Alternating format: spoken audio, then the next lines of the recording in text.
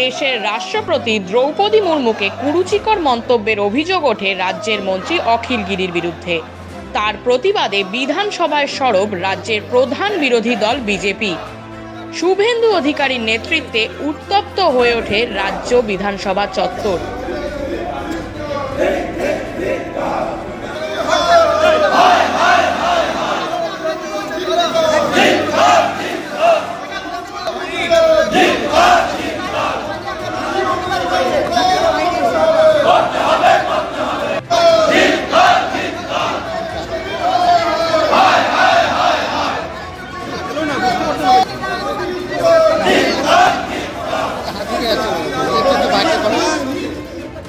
bureau report কি খবর কলকাতা